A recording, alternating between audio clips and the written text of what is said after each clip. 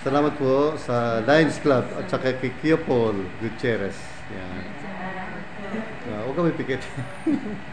Ewan mo Sila naman. Kuya Paul, kahit pandemic, Mm, nagbibigay Salamat po sa ano. kay Kuya Paul eh, kay Ma'am Lydia Bueno ng National Press Club. yan. Pasay City Host Lodge Club. Ayan. Ayan.